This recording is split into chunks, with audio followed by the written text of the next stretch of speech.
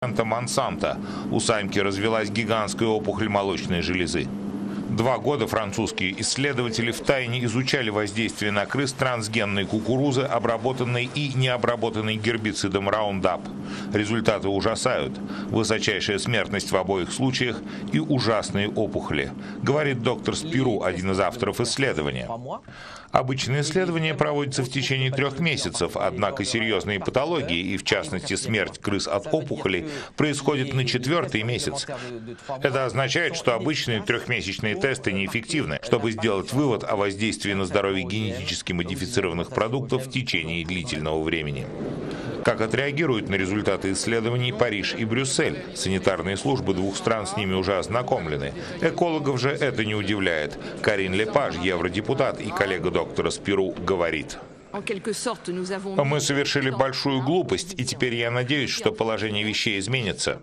Я обратилась к 27 министрам стран-членов ЕС и господину Дали, еврокомиссару по вопросам здравоохранения, чтобы обеспечить продление до двух лет исследований всех трансгенных продуктов, потребляемых в Европе.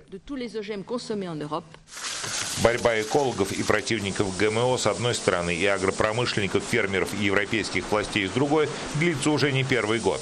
В 2010-м, утомленная этими сражениями Еврокомиссия предложила компромисс. Она оставляет за собой право разрешать производство и импорт ГМО, но каждое государство вправе это запретить. Лишь в 10 странах расположено 98% всех территорий в мире, занятых генно-модифицированными растениями. Они занимают 160 миллионов гектаров, больше всего таких полей в США.